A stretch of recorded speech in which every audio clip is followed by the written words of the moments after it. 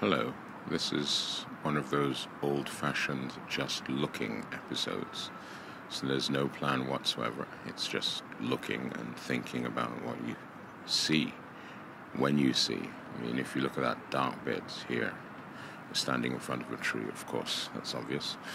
But I mean, what do you think when you look at bark like this and you see all these lines and these changes of color? What comes to mind. You know, I always go into Grimm's fairy tale kind of mode when I see things like this. That the tree, it, it, of course, it's alive, but it seems as if it's talking, as if it's saying something. That's what uh, part of my imagination puts together. And even though there's a part of my brain that says, of course, that's not the case, I do like the idea of I, I don't know, just always having this alternative take on the world around you.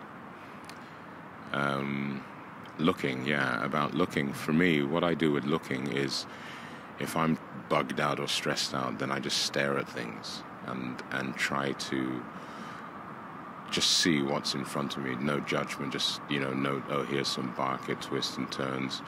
Here, for example, in the center of the image, you've got that sort of eye-like um, scar where a branch was probably taken off. Um, now you have that tube thing like a chimney. And I just look at the world in that way, and I find it gives me the space in which to, you know, calm down and whatever. Anyway, that's uh, the tree there. What we're doing now, we're walking, we're in. Um, is it Beatrix Park? I, hope it's Beatrix Park before I start telling you we're in the wrong place. But it's just a quiet bit of, of the place, and I thought this is a good spot to stop and look. You know, look at the fence and imagine what goes on beyond there.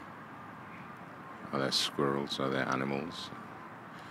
Are there people hiding there or living there? You know, all kinds of possibilities. Ah, the sun's coming, that's nice. Gives us a bit of shadow to look at. Shadow adds to the mystery of all places, as you know. So just glancing at shadow, twirling around, seeing um, one visitor to the park cross from right to left, a couple more visitors, and there we've got uh, a bit of sunshine blasting away. you know, those low winter suns. Well, I suppose it's dramatic. It helps the the imagery. Uh, here we have uh, this tree here. This tree has definitely has some uh, fairy tale qualities. Something about those leaves, you know, that if you pluck one of them, the tree will start dancing and shimmering in an odd way, and uh, who knows what will happen after that. Anyway, the sun's just vanished or skedaddled behind a cloud. Uh, I'm laughing because I said the word skedaddle. I like it. Um, so here's a sort of rather gloomy twirl, final gloomy twirl. And you can just look and see and think and um, enjoy, really.